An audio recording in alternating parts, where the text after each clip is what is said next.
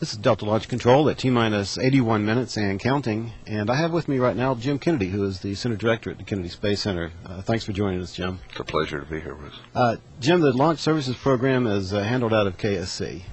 Um, but this mission involves a number of other facilities, uh, NASA facilities, as well as international partners. Uh, that's somewhat unique, um, but and it's a project that we've had to do some coordination with. Yeah, this is a, a mission that has required considerable collaboration and coordination.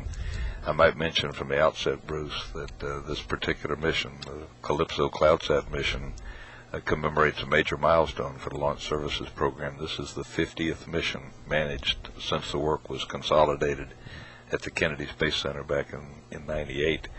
This particular mission is exciting to me because it represents the ultimate in collaboration. For the first time that any of us can recall, there are four NASA centers involved, Langley, Goddard, Jet Propulsion Lab, and the Kennedy Space Center. I think the most on any previous mission was three. So we have four NASA centers. We also enjoy the collaboration with our international partners.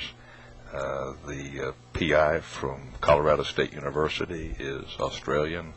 Uh, we're doing work with CNES, the French space agency, as well as the Canadian Space Agency.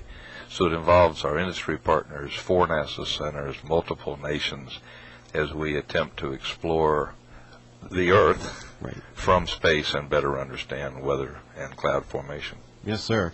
Well, you know, we at the agency at uh, NASA, we, we also have a balance, uh, not only with the robotic uh, spacecraft that we're sending up, but with the human spacecraft and spaceflight uh, activities. Uh, would you care to discuss the interaction and how that all, what it means and how it applies to the vision for space exploration? Yeah, I would love to. It was a little over 27 months ago the president announced what was then his vision for space exploration has now been ratified by Congress, the American public, this nation, and this world indeed strongly stand behind the vision for space exploration, which, as you indicated, is a balance of human and robotic. The human were grounded uh, with the shuttle until the 1st of July when we hope to launch STS-121.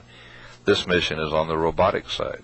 Uh, robotic comes in two flavors, really. Exploring the universe, like the missions we've sent, Messenger to the planet Mercury, Pluto New Horizons uh, just in January to the faraway uh, planet of Pluto. This is an exciting mission in that it's it's considered robotic exploration, but it's robotic exploration of planet Earth.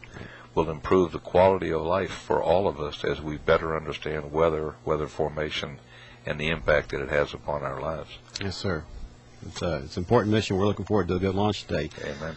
And that launch is going to be coming out of this uh, new Mission Director Center here at Vandenberg. It's a pretty nice setup, isn't it? Yeah, it's an honor to be here. Uh, this is the first uh, use of the uh, Mission Director Center.